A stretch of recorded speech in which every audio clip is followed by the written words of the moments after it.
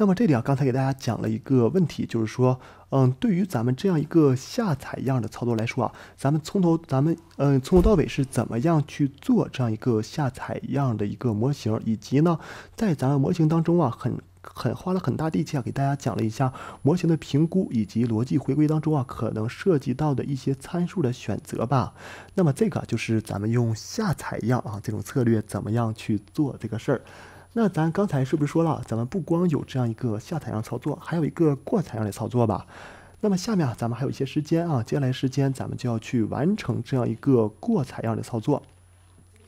其实大家先知道了这样一个流程之后啊，咱们再说这个过采样就比较简单了。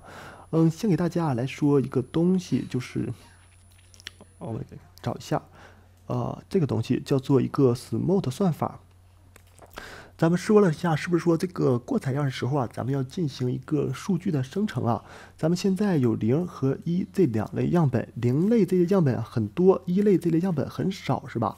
我们现在希望一类这些样本也让它很多，进行一个生成的操作。比方说，嗯，咱们现在就做这样一个假设吧。假设说原来的一个一这个类它是有一百个。我想给它生成成五百个，比方说，我给它来个五倍，这块乘上一个五，有一百个样本生成五百个样本，咱们能不能做这个事儿呢？肯定啊是可以的啊！给大家介绍一个算法，这个算法是在咱们统计分析或者是数据挖掘当中啊非常常见的一个算法，叫做 SMOTE 啊，一个 SMOTE 算法。给大家从流程上解释一下它是怎么样完成这个事儿的。嗯，首先就是说，第一步啊，你要找到啊你的一个少数类样本，咱们是要对少数类进行一个数据的生成吧。所以说呢，那些对应于多数类啊，咱们就不不管它了，咱们只把这个少数类的给它拿出来，把少数类样本这个 x 拿出来，然后呢，咱们要计算一下对于少数类样本当中每一个样本啊到其他所有样本的一个距离。那么这个其实就是相当于是一个 k 近邻操作啊。给大家举个例子。假如说啊，这里一个三角形，它是一个比较稀缺的类别。那么假第一次啊，我会在咱们三角形每个会写上一个 for 循环，在这个 for 循环里边呢，就是便利咱们一个三角形里每一个样本。假设说啊，我第一次便利的样本是 xi 啊这个样本，那对于这个样本呢，我就去计算一下 xi 样本到其他所有样本的一个距离。比如说我写一个第一。然后写这样一个第二这块有一个第三，一直到所有的一个 d n。现在是不是说我可以算通过这个欧式距离啊，就是样本之间、样本特征之间的一个差异，然后求一个平方，再开一个根号啊，咱们算这样一个欧式距离。算完这样一个欧式距离之后啊，我可以得到这个样本到其他所有样本的一个距离吧。我给它再进行一个排序的操作，比如说这块是第一，然后点点点点，然后这块可能是个第五，然后最后可能是。一直有一百个样本吧，一直到这样一个第一百。做完了这一百个样本之后啊，我们就要来想这样一个东西了。你要给它生成多少倍呢？咱们现在是不是说要给它进行一个生成五倍啊？把一个样本变成五个样本。那么在这里呢，我们就切一刀取这个第一到第五。如果说你要乘五，你取个第一到第五；你要乘个十呢，取第一到第十就可以了吧？咱们现在是取乘五，所以说我把这个第一到第五给它取出来。取出来之后呢，我就可以按照这样一个公式啊做一个操作。这个 x 啊，就是咱们刚才选的这个 xi 样本，这个 x new 呢，就是咱们一个新生成的样本。在这里啊，咱们是不是有四个啊？咱们是不是有这样五个距离啊？那么第一次它会算一下 x，再加上这样一个随机数，也就是说，我们现在在生成样本的时候，一定要保证一个随机生成的策略，咱们不能啊人为加上一些人为的干扰因素啊，咱们使得这个数据分布啊尽量还是按照一种随机的规则。我们会在这块相当于什么？这个就相当于。于 d 啊，这个 x 减去这个啊，这个 x 上面一个波浪，再减去一个 x，相当于咱们算这样一个距离，就是刚才给大家说的这样一个欧式距离。我们算这样一个距离，然后呢，再在这个距离上，比如说这个 d 一，再乘上一个随机数，比如说它乘上了一个零点。七六，然后乘上这样一个随机数，得到一个新值吧。得到一个新值，咱们再加到原始的一个数据上，那么咱们是不是得到了一个新的数据啊？那对于第一来说，我做了这样一个操作。第二次呢，我用第二、第三次、第三，一直到最后一次第五，是不是每一次我都能够得到这样一个操作啊？每一次我都可以得出来它的一个。嗯，它的一个距离值吧，我们可以通过这样一个距离值来去生成出来这样一个新的样本吧。那么这个生成策略啊，其实还是比较简单的，它叫做一个 SMOT 算法。咱们一会儿呢，就是啊，依照着这样一个 SMOT 算法来进行一个建模的操作啊，不是来进行一个数据生成的操作。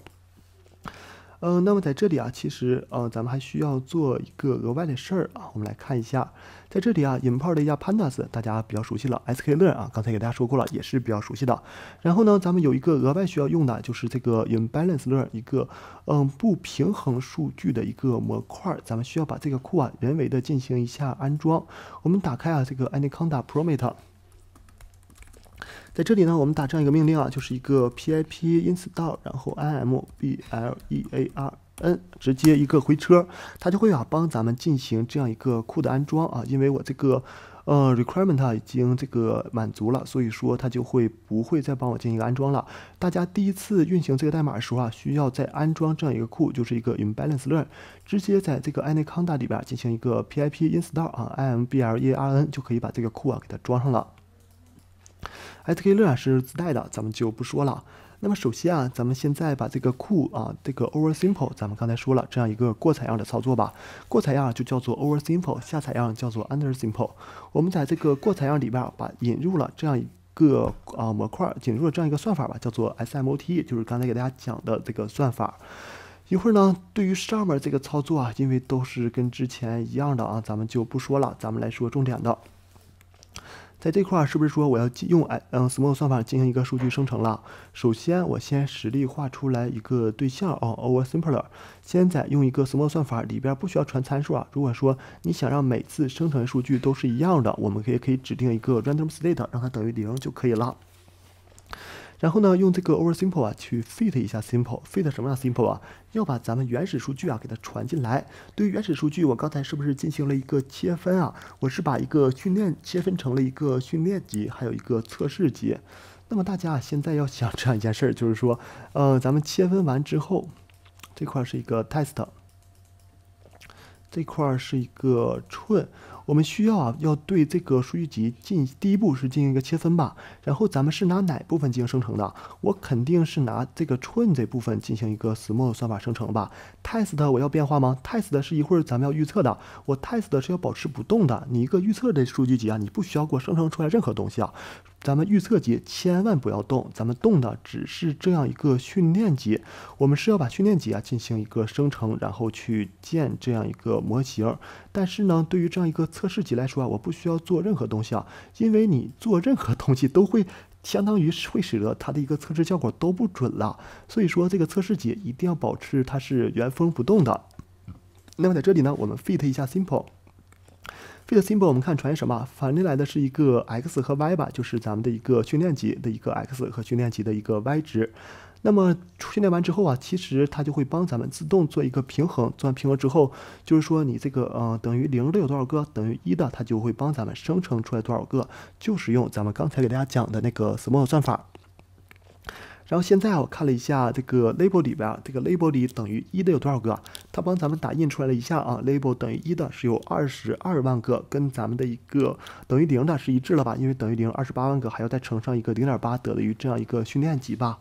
那现在已经有了二十多万个等于一的了，咱们还有二十多万个等于零的，这回两个样本是不是又均衡了？对于两个样本又均衡了之后啊，我们是还可以做一个重复的操作吧？咱们就要来看一下，现在我用这种过采样的方式，它会使得我得到的一个精度是多好呢？或者说是多高呢？还是执行啊，咱们下面的一个方式啊，下面的一个方式就是跟之前啊其实是一样的，还是去打印这些值啊，就是说对应于不同的 c parameter 它的一个 recall，recall 值第一个等于零点九三啊，我看有没有更高的零点九三，零点九三啊，它这个它这个浮动还是比较均匀的，大概都是零点九三几，所以说呢，嗯，它一个 recall 啊，一个平均的一个大概就是零点九三几了，咱们再来看它的一个混淆矩阵吧。通过这个混淆矩阵当中啊，我们可以来分析一下，就是说现在在测试集上可能一共有这么五万多个样本吧。然后呢，咱们的一个 recall 等于多少啊？这样一个 recall 是等于百分之九十。咱们之前的一个 recall 好像等于百分之九十九十一还九十三了，我记不太清了。现在可能比原来稍低了一些。但是呢，现在咱们来看一下，现在咱们的一个。呃，误杀率，咱们主要关注这个格子，因为 recall 其实都是还可以的。现在的一个误杀率等于多少？等于五百多个吧。原来的一个误杀率等于多少？大家没有忘记吧？原来的一个误杀率是等于八千多个呀，是这个五百多个的十几倍啊。也就是说，咱们现在通过这样一种过采样方式啊，咱们得到的一个误杀是偏低一些的吧？这回咱们只得到了一个五百多个误杀，也就是说呢。当咱们使用这种过采样模型的时候啊，咱们虽然来说 recall 值可能是低了一些，但是呢，咱们发现了它的优点在哪儿？优点啊，就会使得它模型整体的一个精度偏高吧。模型整体的精度啊，是看这两个模块吧，五六三四四和这九十一，它们两个加在一起，再除以这样一个五百一十七，再加十吧。也就是说呢，咱们当咱们用这样一个过采样来去做这样一个事儿的时候啊，它会使得哎，咱们一个整体模型虽然说 recall 低一些，但是整体的效果更好了吧？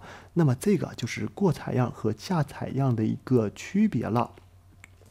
那么到这儿啊，其实到这儿咱们这个案例啊，已经给大家讲的差不多了。嗯，再给大家啊来来说一下一些经验吧。就是说，呃，对于一个样本不均衡数据啊，咱们首选是什么？首选肯定是咱们要利用更越多的数据越好吧。比如说你能利用一种生成方式，那么咱们不妨就利用这种生成方式。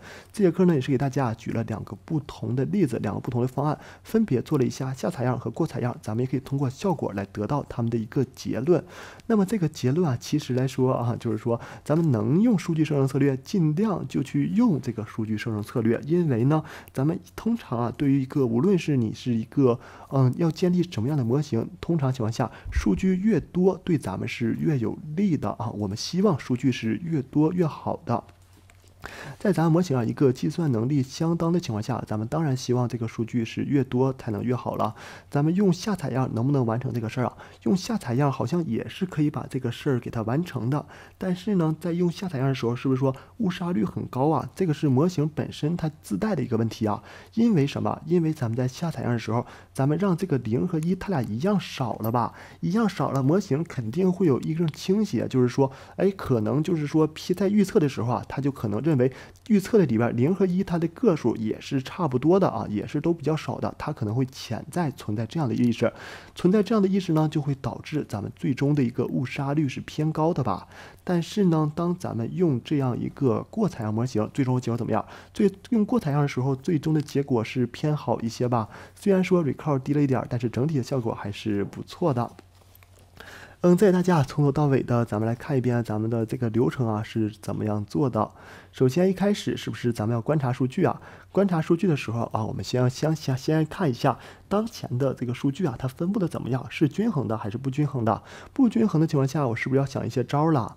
然后呢，对于这个特征啊，因为这节课咱们拿出来的数据特征啊是比较一个纯净的啊，就是说已经提取好的一个特征数据，我们就不需要再做其他一些其他预处理的操作了。所以说，我们直接原封不动的拿出来就可以了。但是呢，很多真实的情况下，不见得说你能够直接拿到这个特征数据。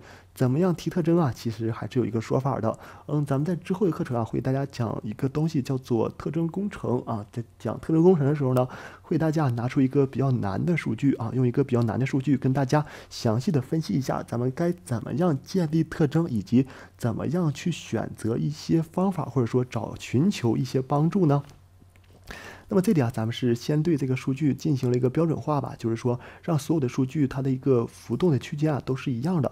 咱们把这个 amount，因为之前 amount 浮动比较大吧，咱们让 amount 继续浮动比较小一些。然后在下采样里啊，咱们做了一个数据的一个选择操作，进行一个随机的选，进行一个随机的选择。然后接下来呢，咱们是不是说对于一个模型来说啊，很重要的一点就是不同的模型可能对应于不同的参数啊，参数对结果有多大影响？刚才通过这些值看出来了吧？参数的影响可能达到十个百分点，那么十个百分点相对来说就是已经很高了吧？怎么样找到一个合适的参数呢？咱们是通过这种交叉验证的方式，每一次都去执。行这样一个交叉验证。那么其实啊，这些就相当于一些脚本文件嘛，你只需要把它传给这个服务器，然后让服务器不断去跑跑，不就可以了吗？嗯，接着来看，接着来来看，给大家说了一下混淆矩阵以及咱模型评估的标准吧。recall 值啊，花了好大力气给大家讲，以及呢混淆矩阵，咱们该怎么样去算这个 recall 啊，true positive 啊，false negative 啊，都是什么样的含义？刚才啊拿一个简单小例子给大家从头到尾去说了一下吧，希望大家还能够去记住这个东西的。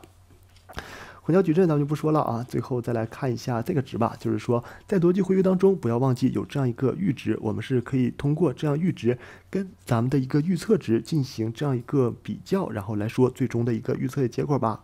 不同的一个阈值呢，会使得最终的结果反发生很大的变化。多大的变化呢？咱们自己通过这个图啊，想必已经是看出来了。